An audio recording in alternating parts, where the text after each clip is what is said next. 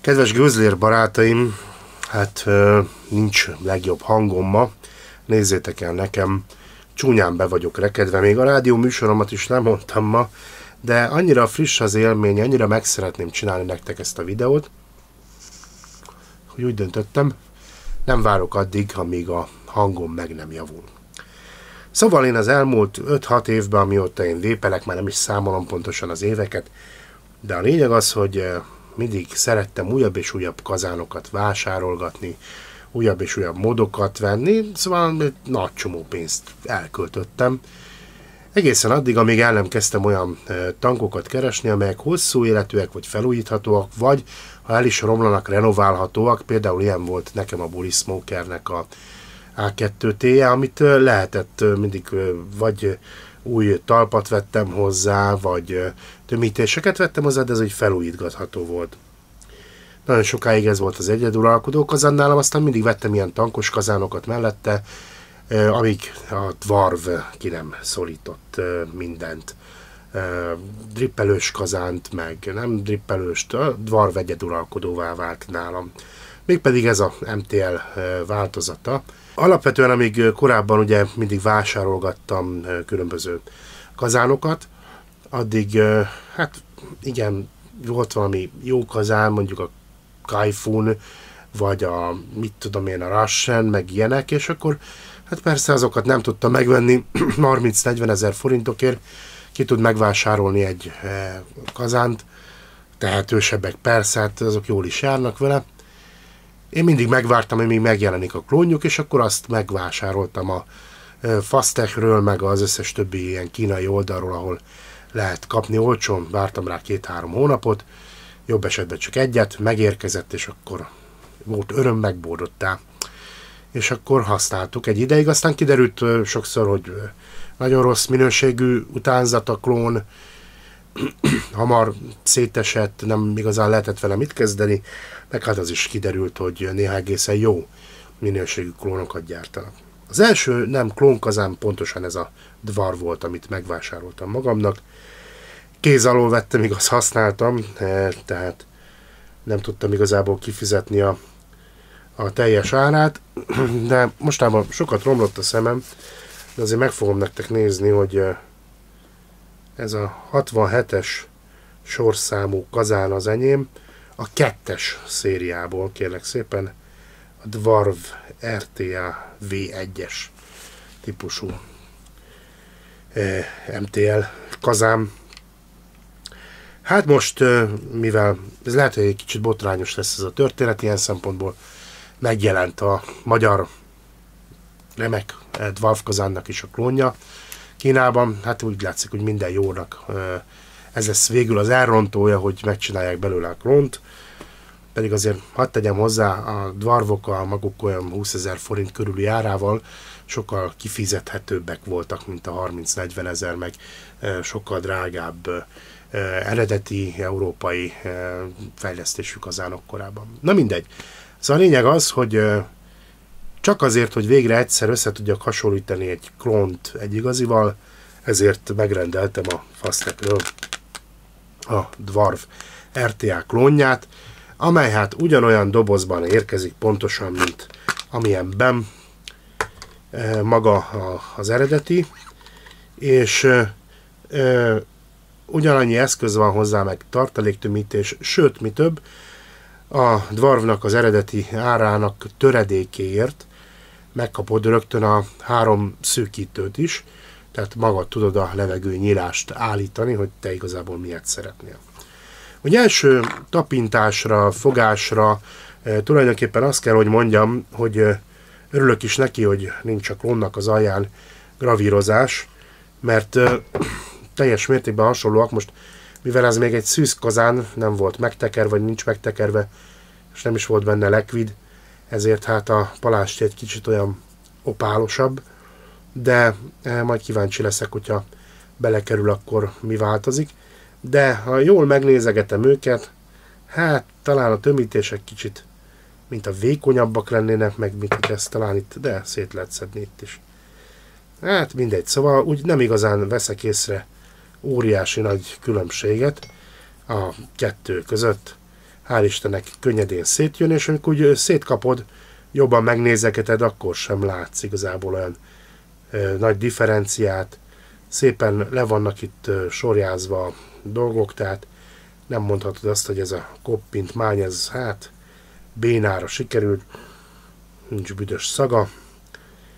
A luk, a luk az mintha egy kicsit nagyobb lenne, bár most nem fogom szétszedni a nemrég tekertem meg a dvarvomat. Annyit csináltam már benne, hogy eredetileg nem a legszűkebb ö, levegőző lyukkal érkezett, én viszont azzal szeretem, hogy én kicseréltem benne a, a, ezt a szűkítőt a legszűkebbre, és aztán pillanatokon belül fogok egy ugyanolyat tekerni, vagy közel ugyanolyat tekerni bele, tehát ugyanúgy a, a mikroklepton húzalból fogok egy mikrokolt, tekerni olyan egy gyom környékit, ugyanazt a vattát fogom belehúzni, sőt még ugye azt a lekvidet is fogom belerakni így kezdésnek, és akkor csinálunk egy ilyen összehasonlítást, hogy tulajdonképpen miben más, miben azonos, a klón vagy az eredeti a jobb, meg lehet különböztetni ezt, és tényleg most engem senki nem szponzorál, saját magam fizettem mind a két kazánért, tehát az én szubjektív véleményemet mondhatom el, és aztán lehet, hogy később majd csinálok egy olyan videót is, hogyha esetleg ez a klónkazán nem bírja olyan hosszú ideig, mint amilyen hosszú ideig dolgozik nálam az eredeti dvarv, akkor azt is el fogom mondani őszintén. Hát biztos, ami ziher azért elmostam a kazánkát, és akkor ilyet még sose csináltam, eh, hogy itt fogom megtekerni a kép előtt, de hát majd remélhetőleg sikerül. Szóval, a mikrokleptom, már előtt csináltam korábban egy videót, eh, drága, de sokáig bírja. Kettes magon fogom tekergészni ezen a jigen a második beállítás, behúzom középre, elkezdem tekerni, mint állat, és bár ritkán szoktam tekerni, mert mondom sokáig ben van, de jól emlékszem, akkor 7 menetet szoktam nyomatni.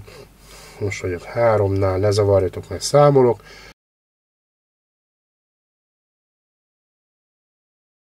Ilyen ótvarcsipeszt találtam. Most egy pillanatnyilag szóval ócskásnál vettem. De még lehet egyébként, hogy jobb is befogatom vele így. És előveszem a malac pörkölőmet, és oda, oda sóhintok neki, mert lehet, hogy el fogom dobni ezt, mert hamarabb pörkölöm le a kezemet, mint izzítom föl a koit, azaz magyarul a tekerést. Na azért nem tudom mennyire látjátok, ott izzik már úgy rendesen. Eric Clapton. Jó van, jó lesz. Hát figyelj, miközben tekerem, azon kívül, hogy érzem, hogy egy zsírói kazánt tekerek, de még a bemarások is, meg minden tök úgy néz ki.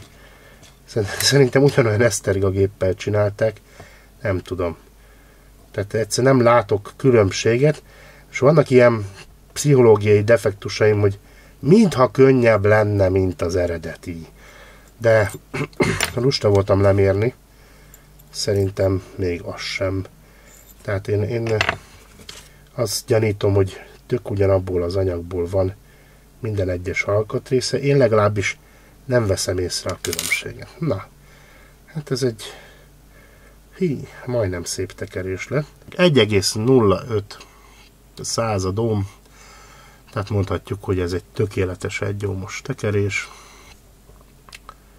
Kicsit közel van a nem is, jó lesz ez. Szóval nem tudom, kedves dvarverek, hogy ti hogy szoktátok megtekerni pontosan, de én az utóbbi időben nem nagyon vágom le a,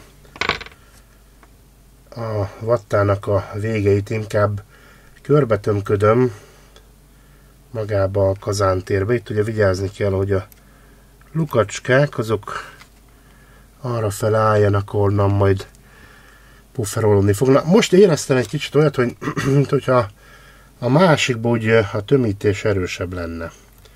Talán ebben egy kicsit úgy vékonyabb a tömítés. Na szóval én nem vágok itt semmit, még tulajdonképpen vághatnék is, de nem. Oda szépen a lukhoz, meg a környékére betömködöm a cuccost, Nézem nagyjából, hogy minden jó-e. Itt is betömködöm a cuccost. És akkor ez is jó. Na hát, körülbelül ilyen lett. Így néz ki. Nem tudom mennyire lehet látni. De ilyen a történet most jelenleg. Akkor van az, amit nem szabad soha elfelejteni, hogy főleg első tekerésnél is, de újrahúzásnál, újravattázásnál is itt bizony be kell nedvesíteni, mert bármi lehet. Will O Wisp ez a dohányos keveréknek a neve amit nem olyan rég vásároltam a Vape 42-ben, és nekem nagyon bejött, ez egy ilyen olasz aromagyártó, aki állítólag igazi dohánylevelekből vonja ki a likvidekhez való aromát, 10%-os aromákat kever, és ez a Willow Wisp, ez á, valami nagyon durva cucc. Na, ezt nem szabad elfelejteni rárakni ezt a kis kupakot rendszerint elfelejtem, vagy előfordult már, hogy elfelejtettem, azért annyira nem rendszerint. Na szóval ez a Willow Wisp, ez ilyen több fajta dologból van, és nagyon érdekes íze van. Most nem rakok bele olyan rettentően sokat, tehát ez a kb. 1 mm-es mennyiség az nekem bőven elég lesz ahhoz, hogy kipróbáljam ezt a Dwarf klónt. Kicsit megpörgetjük, hogy a macságát elveszítse az üveg, de úgy nagyjából benne van. Fölveszem, mennyi is van a másik, azt mondja, hogy 12,8 watton van. Hű, nagyon megszaladt itt a számláló. Szóval 12,8 wattra állítom ezt is. Szívtam bele kettőt, hármat, de még nem izzítottam és akkor megfordítjuk a kamerát, és jön az első izzítás, jó? Na kérlek szépen. Akkor itt van a Willow the Wisp és a kis halálfejes ben szintén Willow Wisp. Ugyanaz a kedves kis likvid. Először nézzük a, az Evi Kaigo-ról a megszokott minőségi, igazi, eredeti dvarvot, ugyanúgy a rövid, vagy a legkisebb lyukacskával, finom ízek, zsíros gőz, ahogy azt én szeretem. Na hát ezt is úgy most már meglötyiztük. Első stuk, szűz stuk következik a klomból.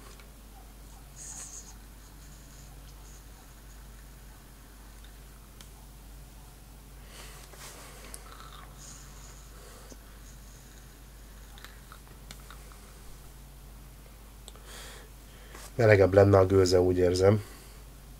Elsőre.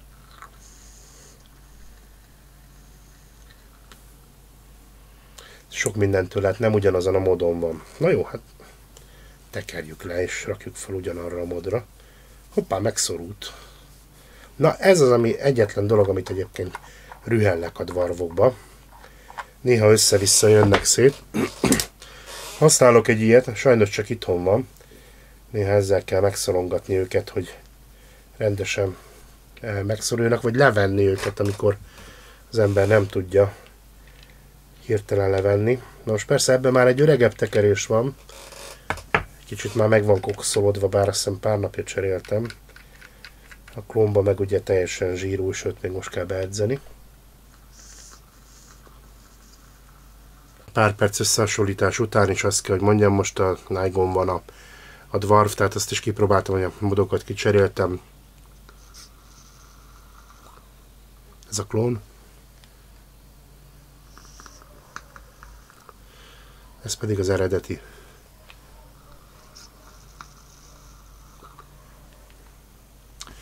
Néhány perc elteltével, hogy a vatta jobban megszívta magát, már azt a kis különbséget sem igazán érzem, amit korábban éreztem, hogy hogy ez egy kicsit harsányabb íz volt, kaparta a torkomat. teszi a dolgát, bár ez most 1,1 ohm környékét mér, ez pedig 0,84, tehát van különbség a két tekerés között véletlenül egy menettel rövidebb az eredetiben lévő. És hát persze kokszosabb már, meg öregebb a, a húzal, de ugyanazt hozza ki a viló vízből, a e, likvidből, mind a kettő, tökéletesen ugyanolyan finom, érződnek az ízek, zsíros a gőze, hogy azt én szeretem, ugye, Véper paraszt, jó zsíros gőzt, és uh, igazi klassz MTL vép élményt uh, élek meg a klónnal is, meg a, az eredetivel is. Tekerés közben is ugyanaz volt, minden passzolt, szépen a helyre éleszkedett, könnyű volt megtekerni, könnyű volt behúzni a vattát, tehát azt kell, hogy mondjam, hogy ez ugyanaz a kazán tulajdonképpen, csak az aljáról hiányzik az a szép kis sorszám, meg a gravírozott felirat. Ezt a eredeti kazánt én rengeteget nyúztam, eleve használtam, vettem, lejtettem zsebemben, táskámban, mindenhol dörgölődött, de hogyha megnézitek, akkor még most is olyan, mint hogyha új lenne. Tehát simán el tudnám adni, még azoknak is, akiknek fontos az, hogy ne legyen rajta karcolás, tényleg tökéletes állapotban van. Kíváncsi vagyok, hogy a klónról néhány hónap múlva ugyanez el lesz -e mondható, tehát ez a klón is ilyen klasszul bírja a strapát, ami nálam azért van rendesen.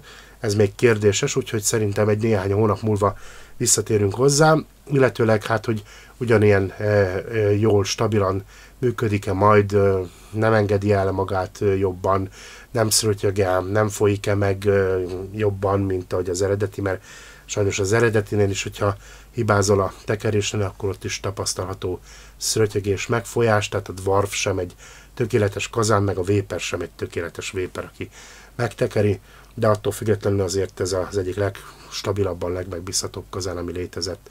Úgyhogy itt van a Dwarf klón, az eredetinek ismét a töredékért. Hát a gyártó biztos most nagyon bosszankodik, én is sajnálom őt ilyenkor, de hát ez van, Úgyhogy most tulajdonképpen a kispénzűek is kipróbálhatják a tvarvélményt. Én azt kell, hogy mondjam, hogy körülbelül ugyanazt fogják tapasztalni, mint hogyha megvennék a, az eredetit, de én akkor is azt mondom nektek, kedves magyar véperek, hogy vásároljatok hazai terméket, ez a 20 ezer forint körül jár, ez még mindig kibírhatóbb, mint amikor 30-40 ezer forintokért árulnak egy kazánt, és ezzel is támogatod a magyar kisvállalkozásokat, tehát én biztatnálak arra, hogy vegyél eredetit, természetesen lesz egy sorszámozott eredeti kazánod, és arra mindig is büszke leszel, de mondom, nagy különbség nincs a kettő között.